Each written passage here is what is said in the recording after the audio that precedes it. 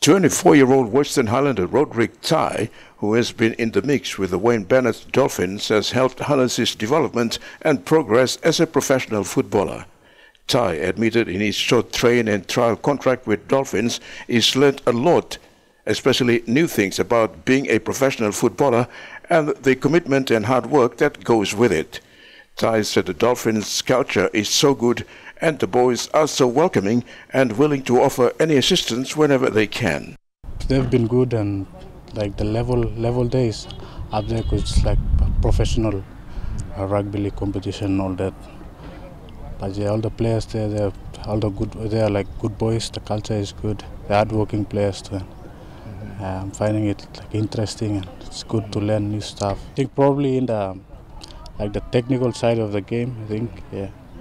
Like there's a lot of small things that we need to learn all that. Up there they're more focused on that. So mm-hmm. I think I've learned a lot of stuff around in and around the technical side of the game. He said it was a challenge for him and Moria Moria traveling back and forth every week for games, but it adjusted well. I normally like after the game go there, train there, stay with the boys, and then during the end of the week come back and to captain's run with the Hunters boys and then play on the weekend.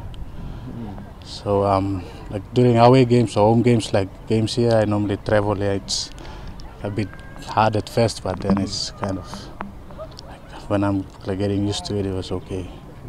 So yeah, it's all good.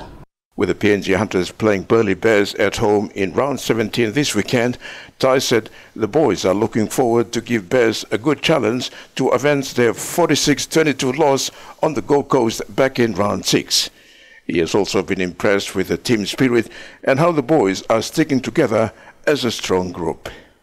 I think we played them earlier in the season. I think we lost terribly to them and mm. So we're just looking forward to play them again and the opportunity has come. So yeah. I think all the boys are looking forward to play that game.